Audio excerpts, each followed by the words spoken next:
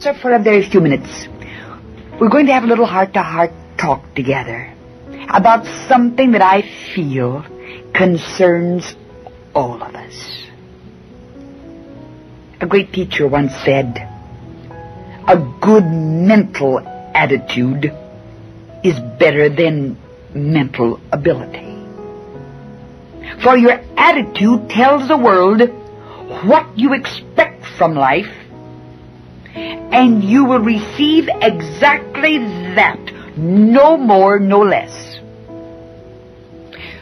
When I said to you a second ago that the only limit to the power of God lies within you, I meant exactly that. God knows no limit to his power. He is still God Almighty. You limit him in your asking, in your lack of faith, in your attitude toward him. And the very same thing is true of life. Your attitude tells the world what you expect from life, and you receive from life exactly what you expect. No more, no less. Perhaps the Word of God has put the finger on the secret. Oh, sure you know it. Perhaps you didn't know exactly where to find it in the Word of God. But it's there in Proverbs, the 23rd chapter, the 7th verse. For as he thinketh in his heart, so is he. In other words, as a man thinketh, his mental attitude, so is that person. A thought precedes a deed. You want to know something? Every normal man or woman longs more keenly for love, for warm friendship, admiration, human responsiveness from his fellows than for anything else in life. But what men and women do not see is the fact that the miracle of receiving from others must begin on the inside of himself. It must begin inside of his own mind. He is the one, when he begins passing out love, giving love, he gets love in return. But he'll never get warmth, kindness, love, until he begins giving it out. And it's just like that. Have you ever noticed that the higher you go on the human scale, the nicer people are? it's all a matter of attitude. You can tell a great deal about a person just from studying his attitude. His attitude about others. His attitude about life in general. His attitude about the folk with whom he works. People are mean, suspicious, vindictive outwardly only when they are mean, suspicious, vindictive inwardly. That's what the Bible means. As a man thinketh, so is he. And the more confident a person is of his own value as a person, the better his attitude toward others and the world in general.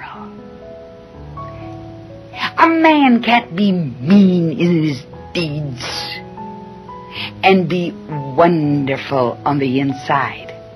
No. When you see a person who is mean and catty and small and jealous and does unkindnesses to others, be dead sure that that person is mean on the inside.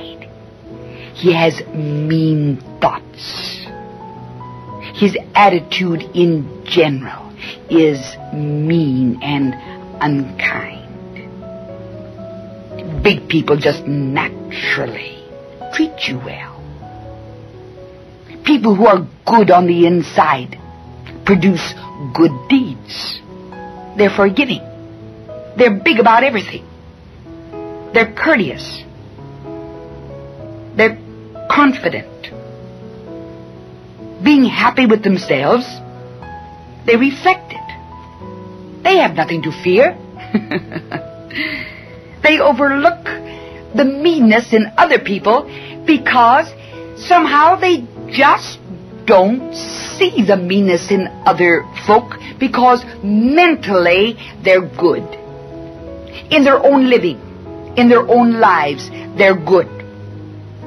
It's easy for them to forgive. They're not suspicious because they are not underhanded themselves.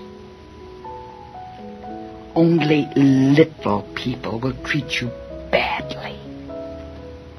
These are the people who have never really grown up or matured.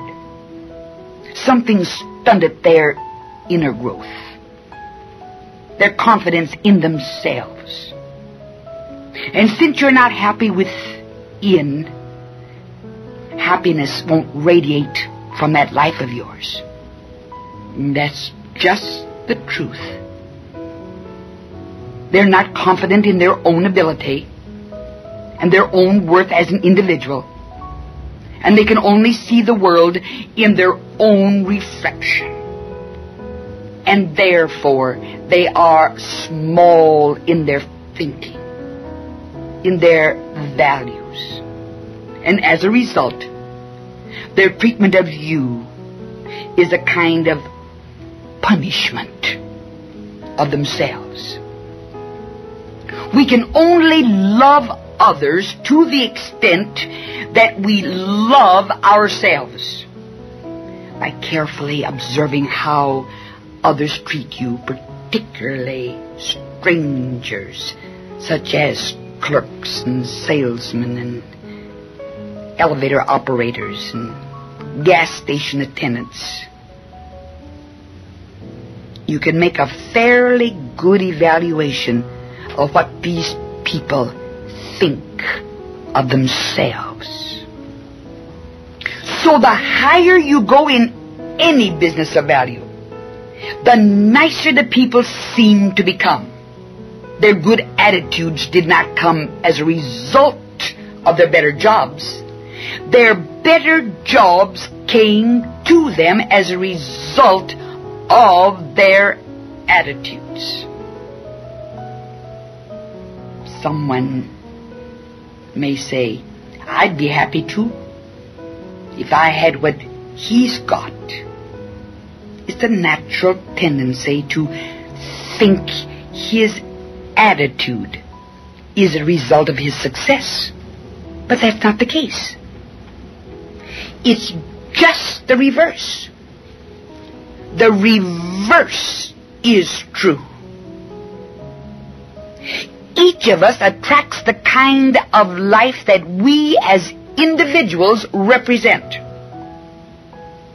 That is, before a person can achieve something, he must become the kind of person that this something would naturally belong to.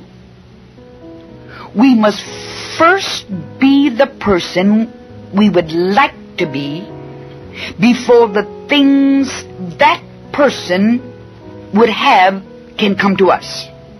Now that might sound kind of complicated, but it isn't. It's just like that. Now, how can we become good on the inside? How can we have good thoughts? How can we have the correct mental attitude. You get it through the new birth experience. When you are given the mind of Christ, and you get the mind of Christ by being a part of Him, and you become a part of Him as you are born again. And then, beloved, for you to live is Christ, and Christ is love.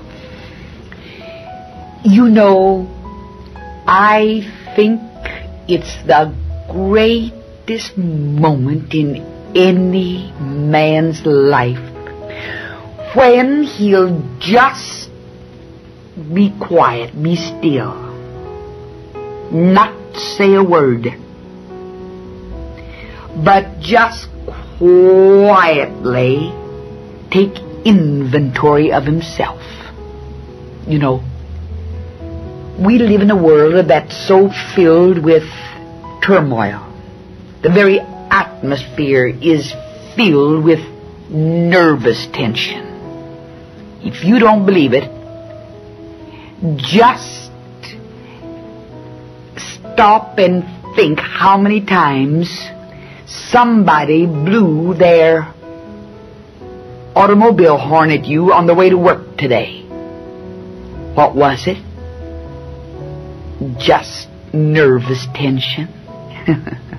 That's all. Just pause right now.